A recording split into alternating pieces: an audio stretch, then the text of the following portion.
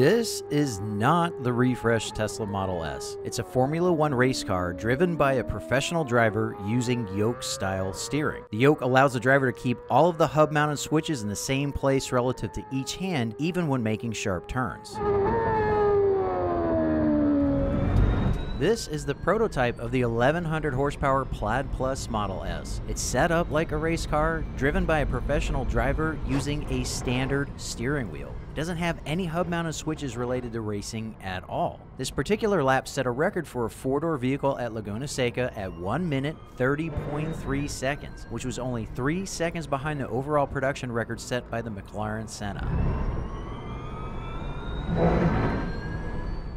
This is the render of the refresh Model S showing a Formula One style yoke in place of the standard wheel that has already proven itself to be quite capable on a racetrack. You can see that there are indeed hub mounted controls such as turn signals, windshield wipers, high beams, and even apparently the horn. All of these controls are currently split onto two stalks in the Model 3 and Y, which is where most people thought Tesla would aim for its refresh. But Tesla dropped the stalks altogether for the new Model S and X. I think it makes the most sense to evaluate the yoke style controls shown in the render car in two steps. This video is going to focus on the yoke as a steering interface. I'm going to address the hub mounted controls replacing the stalks in a separate video. I know the yoke looks cool and is different in an edgy way that might make you feel like you're driving a race car, but that doesn't matter to me if it makes driving worse. In order to get a literal feel for what driving with a yoke would be like, I spent nearly a week using just the hand positions that would be available to me on a yoke yoke. This brings me to an important point. A standard wheel allows you to drive like you have a yoke if that's what you want to do, but a yoke will never allow you to drive like a standard wheel no matter what your preference is. That alone seems to be a substantial argument against a yoke being better for the driver than a wheel. The problem I ran into was that I would still find myself instinctively using the whole wheel to drive, so I decided to wrap the top of the wheel with barbed wire. Well, fake barbed wire we use as part of our haunted trail that we put on as a fundraiser each year. It's not going to hurt me or the car, but it is an instant reminder not to slide my hands past the point where I could grab if I were using a yoke. A common comment in support of the yoke and the new Model S and X is that Tesla is just preparing us for a fully autonomous future. but the reality is, we are very far from having reliable, safe, and legal hands-free driving in a Tesla. We are we're years and years away from that. And in the meantime, whatever Tesla puts here, whether it's a conventional wheel like this or a yoke like is pictured in the renders of the Model S and X refresh, you're going to need to use it to actually drive the car when autopilot is incapable of doing it, when you aren't comfortable with autopilot's capabilities in a certain situation. And Tesla's still using the wheel as a driver monitoring system to make sure that you are attentive as the driver. You always have to put a little bit of torque on the wheel. Otherwise, autopilot shuts down. It'll alert and things like that, but eventually it'll turn off. Yes, there is an in cabin camera in the Model 3 and Y, and an in cabin camera will be coming to the S and the X. But it seems that the camera that's in the 3 and the Y at least is not capable of the kinds of attentiveness monitoring that the very specialized camera in say GMs for their Super Cruise can do. It can see through sunglasses. It can measure very minute changes in where your pupils are pointing and and how and how open your eyelids are. And I read someone credible on Reddit pointing out that the camera up here isn't capable of doing those things. It's not like there's a software switch that Tesla can throw and then it's hands free with the camera doing all the driver attentiveness monitoring. They might try to do that, but it's just not going to be as effective as a camera sitting right here that's specialized for doing exactly that. So you're still going to have to hold on. You're still going to have to provide a minimum amount of torque, but not so much that it kicks it out of auto steer. So, one of the questions that I've been trying to answer is Does a yoke make that easier? Does a yoke make holding on while it's on autopilot, providing just enough torque for autopilot to sense that you're attentive, but not so much torque that it kicks it out of auto steer, easier? And the short answer is no, it doesn't make it easier at all. It's a little harder, in fact, without all this stuff here. My typical place to hold onto the wheel is right about here because I can fully relax my arm and have just enough tension in my hand to hang on to the wheel. And I'm providing exactly the amount of torque that autopilot needs to sense that I'm an attentive driver and stay in auto steer without any kind of warnings, but not so much that it kicks out of auto steer. But when I'm over here, I have to support my arm's weight with muscular tension to keep it from pulling out of auto steer like that. If I fully relax my arm, it kicks out of auto steer. So that's not easier. So the second question is Does holding here instead of here make things better for you as a driver? And I don't see that either. For two and a half years almost, I've been driving with my hand up here with no problems whatsoever, sensing auto steer doing something I don't want it to do, and actually resisting the movement altogether before I even realized that I resisted it. It's very similar to pulling your hand off of a hot burner. You touch a hot burner and you just pull your hand away, and then you feel that, oh, that was hot. That's why I automatically pulled my hand away. It's more accurately just like if you had something in your hand and someone surprised you by trying to snatch it out of your hand. You're going to resist and you might even try to pull back, but you'll grip tighter without even thinking about it. And that's what happens when my hand is up here or up here and auto steer tries to steer in a direction that I don't think is safe or natural. I just simply resist kicking it out of auto steer, and I didn't even realize that I did it until it's already done. So, when it comes to that aspect of using a steering wheel, I'm completely unconvinced that a yoke is going to make my life better as a means of measuring my attentiveness as a driver than a wheel because this is extremely effective at monitoring auto steer and being able to safely disengage it before it can get the car into trouble. I can also do it here, but it takes a lot more muscular effort. Now, I've been driving this way for days, and it's not like my arms are falling off. But my arm is definitely more tired after a day of driving here and here than driving here and here. But let's say for a minute that Tesla achieves enough competence with its autonomy that it can go to hands free. There will still be a transitional period, probably measured in years, where a driver is still going to have to intervene when autopilot makes an erroneous decision.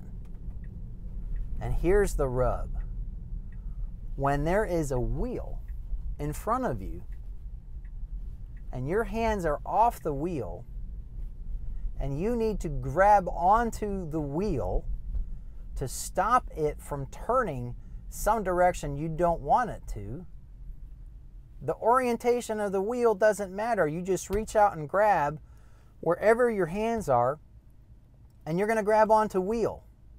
And you're going to have instant control over the car, and your hands are going to instinctively turn the direction that you need them to turn with no more drama than is already being created by the situation itself. With a yoke, all of a sudden, your ability to grab onto a moving object comes into play because you're only going to be able to grab here and here. There's nothing to grab up here. And so, whatever the wheel is doing, if you want to take control in an instant, you have to already align your hands with the sides of the yoke. Now, it's not that fully dramatic like in some yokes on race cars because there is a bottom to it and it's not like you can't grab at all like something like this, but that's not going to be nearly as effective as grabbing a wheel like this.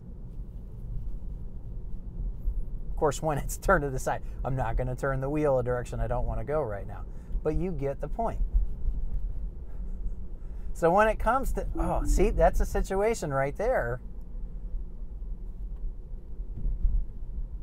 where because my hand was already on the steering wheel and I had a grip on it, I was able to keep it from turning into that other lane the reaction was instant. But a perfect example of how, in an instant, auto steer can end up sending you in a direction that might not be safe. And you need to be able to react like that. And so that raises the question again is a wheel or a yoke better when you're on autopilot? And to me, I just don't see a yoke making what I need to be able to do better when I'm on autopilot. I don't see a yoke making use of autopilot safer in any way. I don't see it more convenient in any way. And I see it as more tiring than using a wheel. So I don't get it. I don't get the arguments for a yoke being better than a wheel when you're using autopilot and you have your hand on the wheel as a form of driver monitoring as well as preserving your ability to take over in an instant.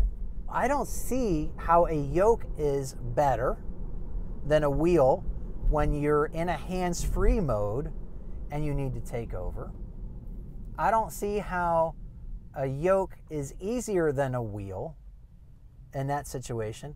I don't see how a yoke is safer than a wheel in that situation. So I'm still left scratching my head. Why is a yoke better than a wheel? So the last thing it comes down to is when you, as a driver, are fully in control of the car. But the only time I'm driving with two hands like this are in the scenarios where autopilot has the easiest time with it. I've got no issues right now driving as if I were driving using a yoke. But autopilot would have no issues driving right now either. I would absolutely be in autopilot right now, except for the fact that I'm trying to prove a point. And then you get to things like making turns. With the yoke, uh, that is not comfortable for me. There's an actual airbag here. So, in order to be safe with an airbag, you need to be a certain distance away. You don't want to be super close. If you look at a race car driver, even one using a wheel, you'll see that they sit much closer to the wheel or the yoke. Their arms will be like this. You might even see that their knees are up high because they're so close to the controls. Much more so than anybody would rightfully feel comfortable driving, just in general. But you need to be close enough so your elbows are bent, so that as you turn a wheel or a yoke, maintaining a grip like this, you're not twisting your shoulders in a super awkward way, like I need to do in order to make this turn without letting go. So I'm not making a claim that a yoke would make the Model S and the X undrivable, but I am making the claim that it's not going to make it easier that I think the reason that it is appearing in the Model S and the Model X is simply for aesthetics, and that is it. It's simply for kind of the LARPing of being a race car driver in your super fast Model S and Model X. I'm not a LARPer when it comes to stuff like that. I would never put a yoke steering wheel in this Model 3, even if it were given to me for free. That to me is about like putting a hood scoop on the front of, of any vehicle. even worse, if you were to do a Model 3. It's like it's like putting exhaust tips on an EV. I've not been in a single situation and I've been driving like this for probably 5 days now. And I haven't been in a single situation where I felt that, oh my gosh, having my hand stuck in this position is better than the way I would ordinarily drive with a wheel in front of me. So some have suggested that Tesla could offer variable ratio steering. I actually have that in my 2004 Lexus LX 470. It's not a big variation in the ratio, but it's not a software thing. There's actually a pretty convoluted piece of hardware that allows the ratio to change based upon the speed. The idea is that you have a very fast steering ratio when the speeds are slow and you're much more likely to need a lot of steering of the tires to make a turn.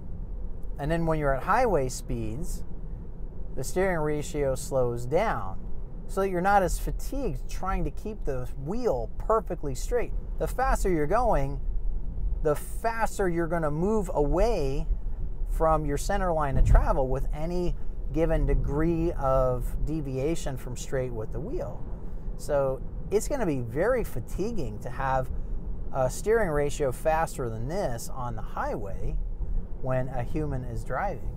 But the problem is, a lot of people talk about variable ratio steering as if it's just a software switch. They're conflating steering ratio and steering assist. Steering assist is a software thing. You put the motors in there, in this case, to assist the driver in turning the wheels, and you can use software to jack up that assistance or, or lessen it, and it could be speed, variable, power assist in the steering. That's easy. The hardware's already there. It probably already happens. But variable ratio requires hardware. It requires a special kind of gearing and parts that move to vary that ratio. You can't just add more software to the Model 3 that I'm driving right now and change the steering ratio. It is fixed and it always will be. So, unless Tesla's already working on a hardware solution to provide that variable ratio, they're not going to have it. And they haven't mentioned it. It's not in anything that they've promoted. In short, I remain quite skeptical about the yoke Tesla plans for the refreshed Model S and X. I don't see how it will make anything better for the driver, and I think it's going to make a few things worse. Tesla could just as easily offer the exact same shape of the current yoke with an arc bridging over the top like a standard wheel, and that would give drivers a choice of how to use it without potentially introducing pain points or even safety issues that might come with just a yoke. The yoke is actually the only part of the refresh that I don't like. The rest of the features Tesla Tesla changed or added, plus the insane jump in performance makes me giddy for the new S and X. If you're interested in getting a Tesla of your very own, be sure to use my Tesla Owners Referral link when you do. It will get you free supercharging. Full details on the Tesla Owners Referral program can be found at the link itself. Be sure to subscribe for more discussions on the refreshed Model S and X. I really appreciate you watching the Tech of Tech, and I hope to see you next time.